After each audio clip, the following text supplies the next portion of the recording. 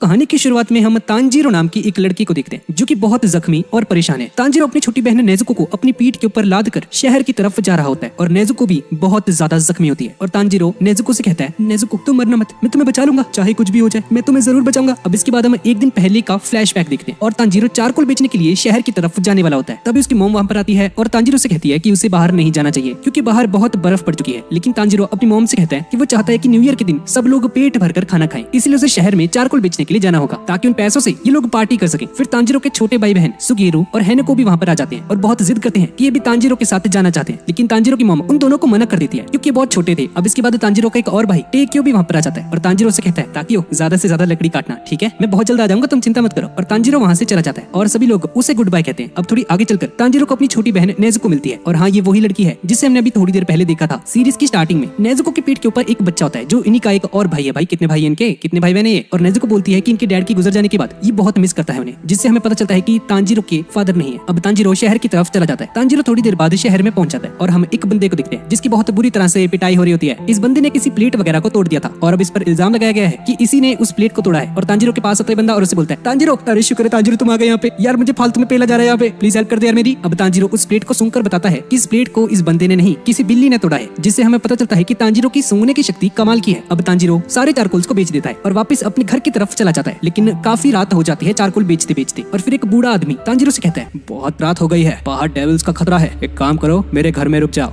लेकिन तांजीरो ने मना कर देता है नहीं सर, कोई बात नहीं, मैं चला जाऊँगा। लेकिन ये ओल्ड मैन फिर से गुस्से में बोलता है, तुमने सुना नहीं मैंने क्या कहा तुम्हें? मेरे घर में आ जाओ। और तांजीरो उसकी बात मान जाता है, और तांजीरो खाना खाता है इसके घर में, और मस्त फिर सोने लग जाता है। और सोने से पहले ही उस बंदे से पूछता है कि डीमंस कैसे होते हैं। और ये बंदा बताता है कि डीमंस इंसानों को खाते हैं और ज़मीन से निकलते हैं रात में, और उन पर हमला करके उन्हें खा जाते हैं। और डीमन स्लेट्स इन जैसे इंसानों को बचाने के लिए डीमंस को मारकर इनकी रक्षा करते हैं। अब तांजीरो उसके घर में सो जाता है और सुबह होते ही वहाँ से निकल जाता है। अब तांजिरो थोड़ी आगे चलता है और तभी उसे अचानक से खून की स्मेल आती है। तांजीरो उस स्मेल को सूंघ कर बुरी तरह से डर जाता है और घर की तरफ़ भागते हुए जाता है और अपने घर के पास जाकर वो देखता है कि उसकी बहन और उसका छोटा भाई खून से लथपथ है। वो अपने घर के अंदर जाकर देखता है और देखता है कि उसका पूरा का पूरा परिवार खून से नहा रखा है। उन सभी की डेड बॉडीज अंदर पड़ी है। ये देखकर तांजिरो को अपनी आँखों पर यकीन आता कि ये कैसे हो सकता है और तांजीरो की साँसें ही अटक जाती है। उसे समझ नहीं आता कि ये क्या हुआ अभी। अब तांजिरो नेजुको के पास जाता है और देखता है कि उसकी बॉडी अभी भी गर्म है, जिसका मतलब है कि वो भी मरी नहीं है। और नेजुको को अभी भी बचाया जा सकता है और तांजीरो जल्दी से नेजुको को अपनी पीठ के ऊपर भरता है और शहर की तरफ़ निकल पड़ता है। अब थोड़ी आगे चलकर नेजुको हरकत करने लग जाती है और हम देखते हैं कि नेजुको का फेस किसी डीमन की तरह लग रहा होता है और नेजुको तांजीरो पर ही हमला कर देती है, जिसकी वजह से ये दोनों उस पहाड़ी से नीचे गिर जाते हैं। अब इसके बाद तांजीरो नेजुको के पास आता है और उससे पूछता है, नेजुको, क्या तुम ठीक हो? तुम्हें चोट तो नहीं लगी? लेकिन नेजुको तांजीरो पर ही हमला कर देती है और नेजुको एक डीमन की तरह बनने लग जाती है और साथ में नेजुको का साइज़ और उसकी ताकत भी बढ़ने लग जाती है बहुत ज़्यादा। ये देखकर तांजीरो रोने लग जाता है और सोचता है कि उसे कल रात को उस बुड्ढे के घर नहीं सोना चाहिए था। अगर ये वहाँ पर नहीं रुका होता तो ये अपनी फैमिली को बचा लेता। और तभी तांजिरो नोटिस करता है कि नेजुको की आँखों से आँसू आ रहे हैं, जिससे हमें पता चलता है कि नेजुको पूरी तरह से डीमन में नहीं बदली है। और नेजुको के अंदर अभी भी ह्यूमन इमोशंस हैं। और तभी एक लड़का वहाँ पर आ जाता है और नेजुको पर हमला करने की कोशिश करता है, लेकिन नेजुको अपने आप को और तांजीरो को दूर ले जाती है और उन दोनों को बचा लेती है। तांजीरो देखता है की उस शख्स के पास एक डीमन स्पॉट है और उसे पता चलता है कि ये बंदा एक डीमन स्लेयर है। अब ये डीमन स्लेयर नेजुको को तांजीरो से दूर ले जाता है और उसके गले पर तलवार रख देता है और कहता है, मैं इसे खत्म कर दूँगा। ये डीमन बन चुकी है। तांजीरो से समझाता है, नहीं, वो कोई डीमन नहीं है। इसने मेरी फैमिली को नहीं मारा। ये ऐसा नहीं कर सकती। नेजुको कोई डीमन नहीं है और ये डीमन स्लेयर बोलता है, तुम्हें दिखता नहीं है क्या? ये डीमन बन चुकी है। अगर कोई इंसान एक बार डीमन बन जाता है तो उसे वापस से इंसान नहीं बनाया जा सकता। अपनी बहन को भूल जाओ। लेकिन तांजीरो अपनी फैमिली के आखिरी मेंबर को बचाना चाहता है। इसलिए वो उस डीमन स्लेयर से भीख माँगता है कि वो नेजुको को छोड़ दे और कहता है, मेरी बात सुनो प्लीज़ मैं इसे ठीक कर दूँगा। मैं इसे नॉर्मल कर दूँगा प्लीज़ प्लीज़ नेजुको को छोड़ दो। तांजीरो घुटने के बल बैठ जाता है और अपनी बहन को छोड़ने की विनती करता है। डीमन स्लेयर बोलता है, कमज़ोर लोग हमेशा ताकतवर इंसानों से मारे जाते हैं। अगर तुम अपनी बहन को सच में बचाना चाहते थे तो तुमने मुझ पर पहले हमला क्यों नहीं किया? चुप क्यों हो? बताओ मुझे। अब तांजीरो उस डीमन स्लेयर पर पत्थर से हमला करता है। लेकिन ये बच जाता है और ये डीमन स्लेयर तांजीरो पर एक हमला करके इसे नीचे गिरा देता है और तांजीरो बेहोश हो जाता है। अब अपने भाई को इस हालत में देखकर नेजुको उस डीमन स्लेयर पर हमला कर देती है और तांजीरो को बचाने लगती है। डीमन स्लेयर ये देखकर हक्का बक्का रह जाता है क्योंकि ये डीमंस इंसानों को सिर्फ़ खाना जानते हैं, उन्हें बचाना नहीं। लेकिन नेजुको डीमन होने के बावजूद भी तांजीरो की रक्षा कर रही थी और अभी ये डीमन स्लेयर नेजुको को भी बेहोश कर देता है। अब थोड़ी देर बाद तांजिरो को होश आता है और देखता है कि नेजुको बिल्कुल सही सलामत है। अभी डीमन स्लेयर तांजीरो से बोलता है, एक आदमी के पास जाओ, जिसका नाम सकोजी उरुकोडा की है। ये बंदा तुम्हें माउंट सागिरी के ऊपर मिलेगा। वहाँ पर जाना और बोलना की गियो टोमियोका ने तुम्हें यहाँ पर भेजा है। और हाँ एक और बात, अपनी बहन को सनलाइट में मत आने देना। और ऐसा बोलकर ये डीमन स्लेयर वहाँ से चला जाता है। अब तांजीरो अपनी मम्मी और अपने भाई बहनों को ज़मीन के अंदर दफनाता है और उन्हें श्रद्धांजलि देकर वहाँ से चला जाता है। ये डीमंस जो होते हैं, ये दिन में ज़िंदा नहीं रह पाते और सूरज की रोशनी पड़ते ही डीमंस मारे जाते हैं। और नेजुको तांजीरो के साथ दिन में भी सफ़र कर सके, इसलिए नेजुको को एक टोकर के अंदर रख लेता है। लेकिन देखते हैं कि नेजुको उस टोकर के अंदर फिट नहीं आ पाती। लेकिन अपनी डीमंस की पावर की हेल्प से नेजुको अपनी बॉडी को छोटा कर लेती है और तांजीरो उसे अपनी पीठ पर रखता है और चलना शुरू कर देता है। अब रास्ते में तांजीरो को एक लेडी मिलती है और तांजिरो से माउंट सागिरी का रास्ता पूछता है। ये लेडी तांजिरो को रास्ता बताती है और तांजिरो आगे की तरफ़ बढ़ने लग जाता है। अब जंगल में चलते चलते रात हो जाती है और तांजिरो और नेजुको को अपने सामने एक टेंपल दिखाई देता है और यहाँ पर इन्हें एक लाइट जगती हुई दिखती है उस टेंपल के अंदर। अब तांजिरो उस टेंपल के अंदर जाता है और देखता है कि वहाँ पर एक डीमन लोगों पर हमला करके उन्हें खा रहा होता है। अब ये डीमन तांजिरो को देखता है और ये तांजिरो पर हमला कर देता है और तांजिरो खुद को बचाने के लिए उस डीमन के सर के ऊपर हमला करता है और ये डीमन खुद को दस सेकंड के अंदर अंदर ही रिकवर कर लेता है फिर से। और तभी नेजुको वहाँ पर आती है और उस डीमन के सर के ऊपर इतनी ज़ोर से किक करती है कि उसका सर किसी फुटबॉल की तरह दूर जाकर गिरता है। भी नेजुको, गोल कर दिया भाई इसने तो लेकिन फिर भी ये डीमन मरता नहीं है। अभी डीमन नेजुको से कहता है, तुम एक डीमन होकर भी एक इंसान के साथ क्या कर रही हो? और हम देखते हैं कि इस डीमन की बॉडी नेजुको पर हमला कर देती है। तांजिरो जैसे ही अपनी कुल्हाड़ी उठा के नेजुको की हेल्प करने के लिए उसकी तरफ़ बढ़ता है, तभी उस डीमन के सर से जो कट चुका था, उसके अंदर से दो हाथ बाहर निकलते हैं, जो की तांजिरो पर हमला कर देते हैं। तांजिरो उस डीमन के सर के ऊपर अपने सर से हमला करता है और बाद में एक कुल्हाड़ी फेंक मारता है उसके ऊपर। तांजिरो नेजुको के पास जाता है और देखता है कि उस डीमन की जो बॉडी थी, वो नेजुको को बहुत बुरी तरह से पीट रही होती है और नेजुको बहुत ज़्यादा जख्मी हो जाती है, जिसे देखकर तांजिरो को बहुत ज़्यादा गुस्सा आ जाता है और उस डीमन को लेकर एक ऊँची पहाड़ी से नीचे कूद जाता है, लेकिन सही टाइम पर नेजुको तांजिरो को पकड़ लेती है और तांजिरो बच जाता है और उस डीमन की बॉडी उस पहाड़ी से नीचे गिर जाती है। अब तांजिरो उस डीमन के सर के पास जाता है और उसे मारने के लिए एक चाकू निकालता है, लेकिन तांजिरो बहुत ही अच्छा इंसान होता है और बहुत ज़्यादा दयालु होता है और तांजिरो उस डीमन को नहीं मार पाता और तभी एक बंदा वहाँ पर आ जाता है, जिसने एक लाल कलर का मास्क पहना हुआ था। ये तांजिरो को बताता है की इस खंजर से इस डीमन को नहीं मार सकता और एक पत्थर की तरफ़ इशारा करता है तांजिरो को। अब तांजिरो उस पत्थर से उस डीमन के सर को कुचलने की कोशिश करता है, लेकिन तांजिरो अभी भी हिम्मत नहीं जुटा पा रहा होता उस डीमन को मारने के लिए और तभी इस डीमन का सर होश में आ जाता है और देखते ही देखते सुबह हो जाती है। और जैसे ही सूरज की पहली किरण इस डीमन के ऊपर पड़ती है तो ये डीमन जलकर राख हो जाता है। अब सूरज के निकलने की वजह से नेजुको अपनी टोकरी में जाकर वापिस से छुप जाती है। और इसके बाद ये मास्क वाला बंदा अपना नाम बताता है। इस बंदे का नाम है शकुंजी उरुकोडाकी। ये वही बंदा है जिसे तांजीरो ढूंढ रहा था। और तांजीरो उसे अपनी फैमिली और नेजुको के बारे में बताता है की कैसे डीमंस ने उसकी सारी की सारी फैमिली को मार डाला। और तभी ये बंदा तांजीरो को एक थप्पड़ मारता है और तांजीरो को समझाता है की अब इसके पास सिर्फ़ दो ही रास्ते हैं। या तो अपनी बहन को मार दे या फिर खुद मर जाए। लेकिन तांजीरो जीना चाहता है। और तांजिरो के जीने की इस ललक को देखकर ये बंदा अपना माइंड बदल लेता है और तांजिरो से कहता है, ठीक है लड़के, अपनी बहन को लेकर मेरे पीछे आओ और अब थोड़ी देर तक भागने के बाद ये लोग एक टेंपल में आकर पहुँचते हैं और यहाँ पर ये तांजिरो नेजुको को सुला देता है और शाकुंजी तांजिरो के एक टेस्ट के लिए एक माउंटेन की चढ़ाई पर जाता है और उस माउंटेन की चोटी पर जाकर ये बंदा तांजिरो से कहता है, अगर तुम सुबह होने से पहले इस पहाड़ के नीचे जो घर है, वहाँ तक पहुँच जाते हो तो तुम इस टेस्ट को पास कर जाओगे। और ऐसा बोलकर ये बंदा गायब हो जाता है वहाँ से। अब तांजिरो नीचे जाने लगता है और उसे पता चलता है की यहाँ पर इस बंदे ने डिफरेंट टाइप्स के बहुत सारे जाल बिछा रखे हैं और तांजिरो को इन सभी से बचते हुए नीचे जाना है और तांजिरो उन सभी के सभी ट्रैप्स को सूंघते हुए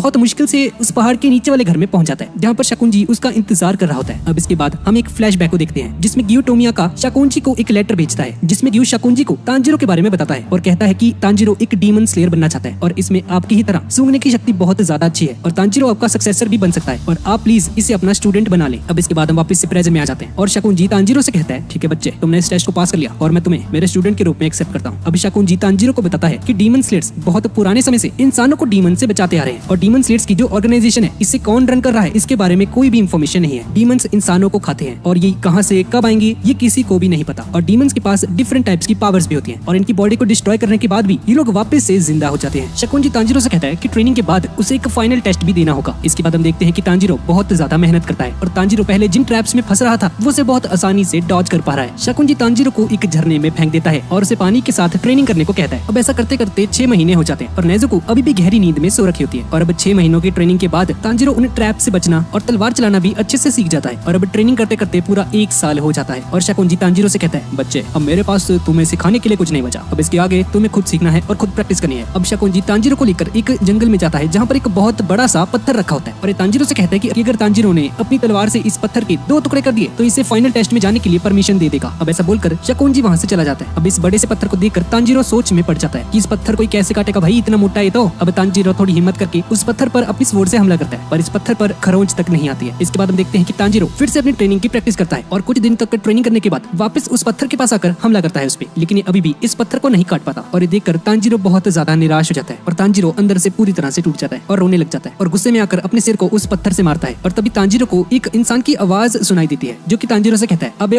रोने से कुछ नहीं होने वाला। तांजिरो ऊपर देखता है और देखता है की उस पत्थर के ऊपर एक इंसान बैठा हुआ है। इस बंदे का नाम है सावितो और इस लड़के ने एक फॉक्स मास्क पहना होता है। अभी बंदा तांजिरो पर हमला देता है और तांजिरो को दूर जाकर गिरा देता है और इससे पूछता है, अब ओ नल्ले छह महीने तक तूने क्या किया? क्या कर रहा था तू ट्रेनिंग में, है? अब तांजिरो को गुस्सा जाता है और वो उस पर हमला करता है, लेकिन साबितो उसे एक ही झटके में नीचे गिरा देता है और तांजिरो वहीं पर बेहोश हो जाता है। अब थोड़ी देर बाद शाम हो जाती है और तांजिरो को होश आता है और दिखता है की उसके पास एक लड़की खड़ी हुई है। ये अपना नाम माकोमो बताती है। माकोमो तांजिरो को ट्रेनिंग में हुई उसकी गलतियों के बारे में बताती है, जिससे की तांजिरो और भी ज़्यादा स्ट्रॉन्ग बन सके। अब बाद में हमें पता चलता है की ये दोनों के दोनों दो अनाथ बच्चे होते हैं, जिससे शकुंजी नहीं पाला था। माकोमो तांजिरो को टोटल कंसेंट्रेशन ब्रीदिंग टेक्निक के बारे में बताती है, जिससे इंसान के दिल की धड़कन धड़कन और खून बहुत ज़्यादा तेज़ी से पंप होने लग जाता है और इंसान की बॉडी बहुत जल्दी जल्दी रिएक्ट कर पाती है और इंसान डीमन की तरह बहुत तेज़ी से हमला कर सकता है। इंसान के फेफड़े जितने ज़्यादा मज़बूत होंगे, वो उतनी ज़्यादा ताकत से हमला कर पाता है। लेकिन तांजीरो को उसकी बातें समझ में नहीं आ रही थी और सब कुछ ऊपर से जा रहा था इसके सर के। क्या बोल रही है ये? पागल वागल क्या? अब माकुमो तांजीरो को बहुत ज़्यादा हार्ड ट्रेनिंग करने के लिए बोलती है। तांजीरो मरने की हालत जितना ट्रेनिंग करता है और वो इस बीच कई बार सावितो से लड़ता है, लेकिन एक भी बार ये जीत नहीं पाता उससे। अब और छह महीने हो जाते हैं और तांजीरो आखिरी बार सावितो को एक बार उसे लड़ने के लिए कहता है और सावितो भी अपनी असली तलवार को लेकर आता है। तांजीरो के साथ फाइट करने के लिए। और तांजीरो उस पर एक हमला करता है। और उसके एक अटैक में ही उसके मास्क के दो हिस्से हो जाते हैं। और तांजीरो सावितो का मुस्कुराता हुआ चेहरा देखता है। माकुमो तांजीरो से कहती है कि जो तुमने अभी किया, उसे कभी भूलना मत। और उसको भी हरा देना। और ऐसा बोलकर ये दोनों वहाँ से गायब हो जाते हैं। और हम देखते हैं कि तांजीरो ने उस बड़े से पत्थर के दो टुकड़े कर दिए हैं, जिसका मतलब है तांजीरो ने उसके मास्क को नहीं, बल्कि इस पत्थर के दो टुकड़े किए थे। और तभी शकुंजी वहाँ पर आता है और तांजिरो से कहता है, बच्चे, तुम्हारी ट्रेनिंग पूरी हो चुकी है और मेरे पास तुम्हें सिखाने के लिए कुछ नहीं बचा। इसके बाद शकुंजी तांजीरो को एक फॉक्स मास्क देता है। और अगले ही दिन तांजीरो उस फाइनल टेस्ट को देने के लिए वहाँ से निकल जाता है। और शकुंजी से कहता है कि वो जब तक वापस ना जाए प्लीज़ वो नेजुको का ख्याल रखे। और जाते जाते तांजीरो उससे कहता है कि वो सावितो और माकोमो को उसकी तरफ़ से बाय बोले। और ये सुनकर शकुंजी बहुत ज़्यादा हैरान हो जाता है, क्योंकि दोनों के दोनों बच्चे बहुत साल पहले ही मारे जा चुके हैं, जिसका मतलब है की अभी तक तांजीरो उन मरे हुए बच्चों के साथ ट्रेनिंग कर रहा था। अब शाम होने तक तांजीरो माउंट फूजी पर पहुँच जाता है, और यहाँ पर इसे बहुत सारे लोग दिखाई देते हैं, जो कि फाइनल सिलेक्शन के लिए यहाँ पर आ रखे थे। और तभी यहाँ पर दो ट्विन सिस्टर्स आती हैं और कहती हैं कि टेस्ट में पास होने के लिए सभी लोगों को इस जंगल में सात दिन तक ज़िंदा रहना होगा। अब सभी लोग उस जंगल की तरफ़ जाने लगते हैं और जंगल में थोड़ी दूर जाते ही तांजीरो को एक डीमन की स्मेल आती है और तभी एक डीमन तांजीरो पर हमला कर देता है। पर तांजीरो उसके हमले से बच जाता है और उसी के तुरंत बाद एक और डीमन वहाँ पर आता है और तांजीरो पर हमला करता है। पर तांजीरो उस डीमन से भी बच जाता है और इसके बाद ये दोनों तांजीरो को खाने के लिए आपस में ही लड़ने लग जाते हैं, जिसे देखकर तांजीरो बहुत ज़्यादा डर जाता है। अब ये दोनों डीमंस एक साथ तांजीरो पर हमला कर देते हैं। तांजीरो एक गहरी सांस लेता है और अपनी ट्रेनिंग को याद करता है और इसके बाद Tanjiro fourth form of water breathing technique striking pad का यूज़ करता है और उन दोनों डीमंस पर हमला करता है और उनका सर बीच में से काट देता है और उन दोनों डीमंस की मौत हो जाती है। तांजीरो फाइनली अपनी ट्रेनिंग को लेकर बहुत ज़्यादा खुश हो जाता है। यस मेरी ट्रेनिंग रंग लाई मैंने ये कर दिखाया। और तांजीरो याद करता है कि शाकोंजी ने उसे बताया था कि डीमंस का वीक पॉइंट उनकी गर्दन होती है। और डीमंस की गर्दन को नॉर्मल तलवार से नहीं काटा जा सकता। और इसके लिए निश्चिंत स्वॉर्ड्स का यूज़ करना पड़ता है, जो की डीमन स्लेट्स का स्पेशल हथियार होता है। इसके बाद तांजीरो को एक और डीमन की स्मेल आती है, जो की बहुत गंदी होती है। और वो देखता है की एक लड़का उस डीमन से बचते हुए भाग रहा होता है। तांजीरो पास जाकर देखता है की वहाँ पर एक बहुत बड़ा सा भयानक सा डीमन उस लड़के के पीछे पड़ा हुआ है। और तांजीरो उस डीमन को देखकर बहुत ज़्यादा डर जाता है। अभी डीमन तांजीरो के सामने खड़ा होता है। और इसके हाथ में एक बच्चा होता है और डीमन इसे खा लेता है। और वो लड़का जो इस डीमन से बचते हुए अभी भाग रहा था डीमन उसे भी पकड़ लेता है। और जैसे ही ये डीमन उस बच्चे को खाने वाला होता है, तांजीरो अपनी second form of water breathing technique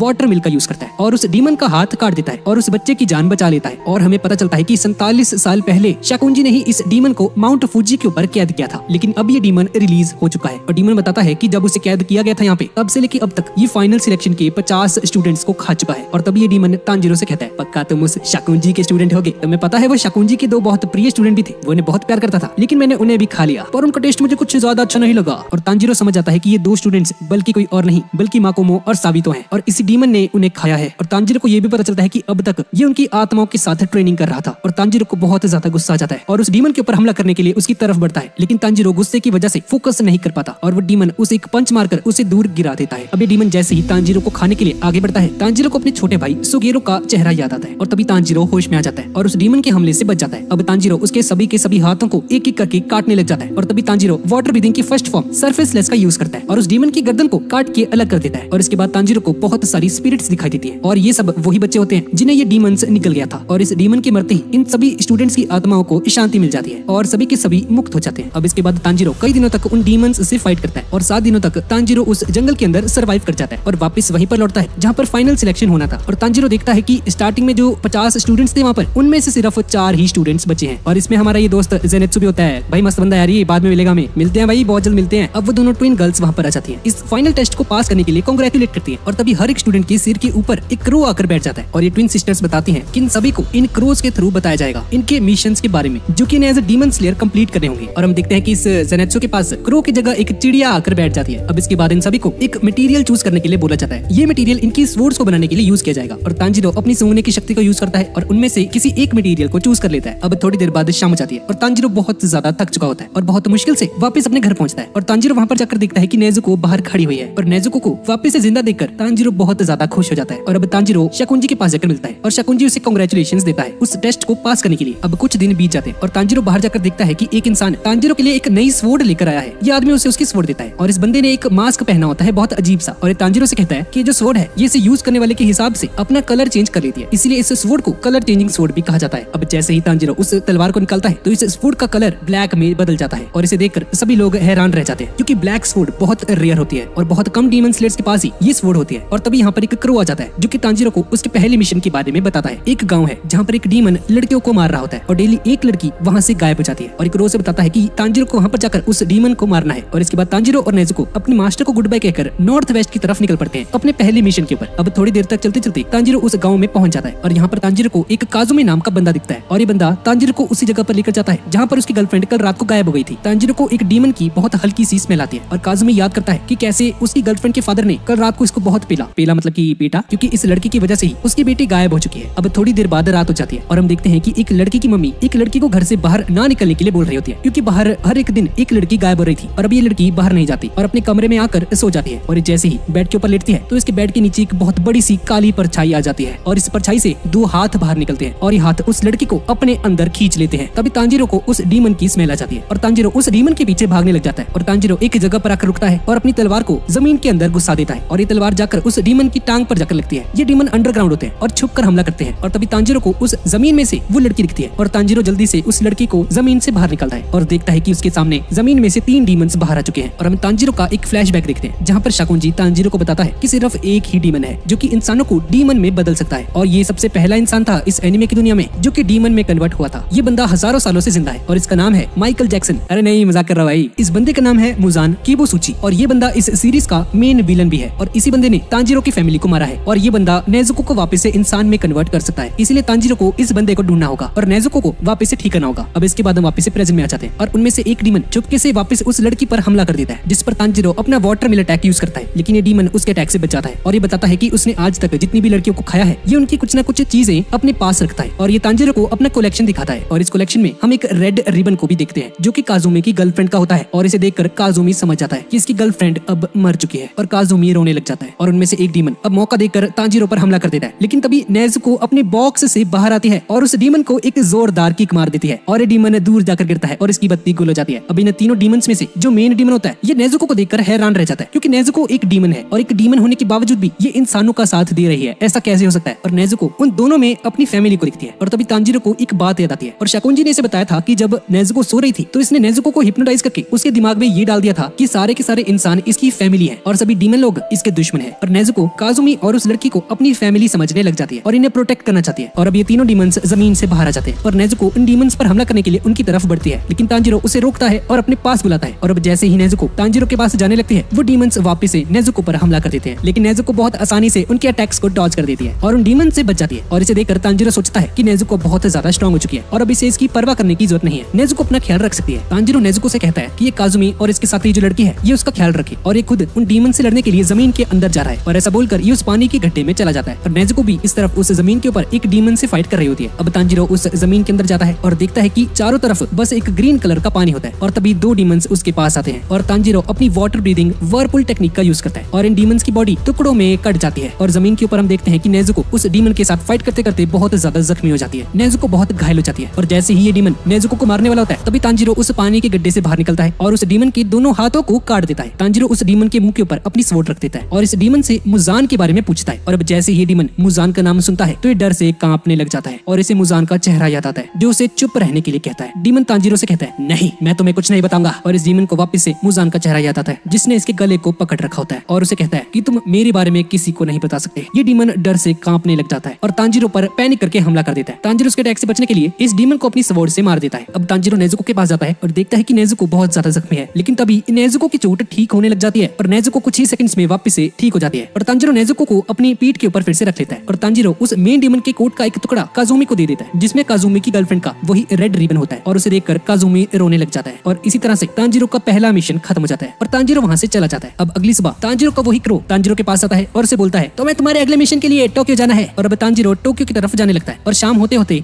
Tokyo में पहुँच जाता है और तभी तांजिरो को वहाँ पर एक डीमन की स्मेल आती है। ये स्मेल बिल्कुल वैसी ही थी जो तांजिरो को उसके घर पर जो हमला हुआ था, उस टाइम पर आई थी। तांजिरो समझ जाता है कि ये स्मेल मुजान की है और उस स्मेल का पीछा करने लग जाता है। तांजिरो को पूरी तरह से यकीन हो जाता है कि ये स्मेल मुजान की है और उसकी तरफ़ तेज़ी से बढ़ने लग जाता है और तभी तांजिरो मुजान के पास पहुँच जाता है और उसे देखते ही तांजिरो जैसे ही अपनी स्वord को निकालने लगता है, वो देखता है कि मुजान के हाथ में एक छोटी सी बच्ची है और लड़की से पूछती है, डैडी, ये लड़का कौन है? और तभी एक औरत वहाँ पर आती है जो कि मुजान की वाइफ है। तांजिरो उनकी स्मेल से समझ आता है कि ये दोनों इंसान है एक्सेप्ट मूजान मूजान एक डीमन है, और इसे समझ नहीं आता कि ये बंदा इंसानों के साथ कर क्या रहा है। और तांजिरो समझ जाता है कि इसकी वाइफ को और इसके बच्ची को नहीं पता कि मुजान एक डीमन है। और मुजान भी तांजिरो की ड्रेस को देखकर समझ आता है कि तांजिरो एक डीमन शेर है। अब मुजान अपनी वाइफ और अपने बच्चे के साथ वहाँ से जाने लगता है। और तांजिरो बस उसे खड़ा खड़ा देख रहा होता है। और मुजान जाते जाते अपने नाखून एक बंदे की गर्दन पर मारता है, जिससे कि ये बंदा डीमन में बदल जाता है और अपने आसपास मौजूद लोगों को खाने लग जाता है। और इस सीरीज़ का पहला पार्ट यहीं पे खत्म हो जाता है। तो गाइज़ यही थी आज की वीडियो और इसके अगले पार्ट के लिए फोर लाइक्स का टारगेट पूरा कर देना। और रैंकिंग ऑफ़ किंग्स का भी दूसरा पार्ट एक दो दिन में आ जाएगा। तो ठीक है गाइज़ और मिलते हैं अगली वीडियो में।